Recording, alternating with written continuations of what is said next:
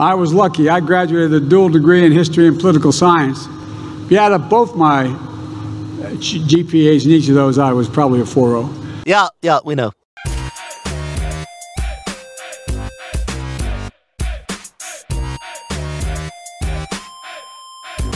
The question we face is nothing less than who are we? What do we stand for? What do we believe? And maybe more importantly, who are we going to be? Deceptively simple yet elegant. Ten seconds later. Who are we? I already said that. What do we stand for? Yeah, you already said that. What do we believe? I already said that, didn't I? Who will we be? Am, am I? I am repeating myself, aren't I? Yup!